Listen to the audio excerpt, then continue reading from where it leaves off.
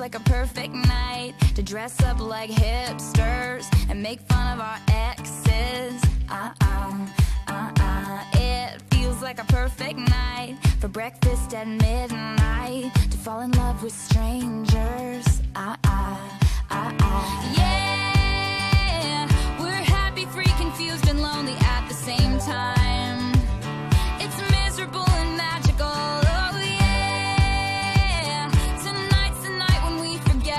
the deadline.